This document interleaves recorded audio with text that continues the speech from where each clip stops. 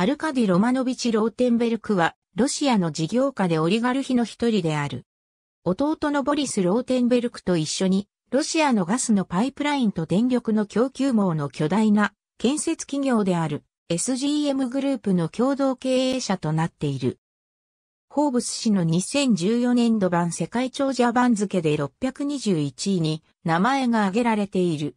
ロシア連邦大統領のウラジーミル・プーチンの親しい友人であるとされる。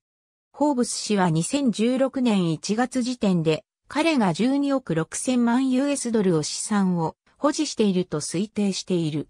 ローテンベルク家はユダヤ人の家系である。2001年に彼と弟のボリスはロシア国内の40の都市で100以上の支店を持ち、そのうちの半分以上がモスクワ地域に展開する SMP 銀行を設立した。SMP はロシア国外でも900以上の ATM を運営している。ローテンベルクはアイスホッケーのクラブチームの HC ディナモモスクワの会長を務めている。2013年に国際柔道連盟の委員の一人になっている。彼は同年、かつてソ連国内における教科書の最大出版元であった啓発出版社の会長にもなっている。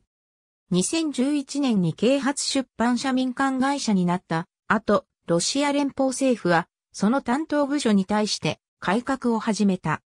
2013年に教育省によってすべての教科書を検定するための内局が作られた。啓発出版社の競合他社の多くは、この新しい教科書の検定に合格しなかったので、2014年におけるロシア連邦国内の新しい教科書の契約率の約70%を啓発出版社が占めるに至った。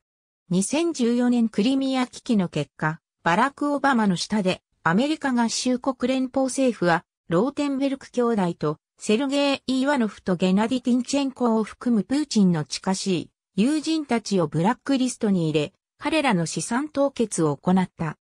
イタリア政府が2014年9月にローテンベルクの高級不動産の差し押さえを実施すると、プーチン政権はロシア人が他国の経済制裁に見舞われた際に、ロシア連邦政府が制裁を与えた国のロシア国内の資産を差し押さえて損害を保障するという法律を交付させた。2021年、ロシアの野党活動家であるアレクセイ・ナワリヌイは、国会沿岸にある防防艇をウラジーミル・プーチン大統領のものだと主張。ロシア各地で週末に抗議デモを行うよう支持者に呼びかけた。敷地総面積はモナコ公国の約39倍、建物の延べ床面積は17,691平方メートルの豪邸は、プーチン宮殿として国内はもとより世界的な話題となったが、プーチン大統領は所有を否定した。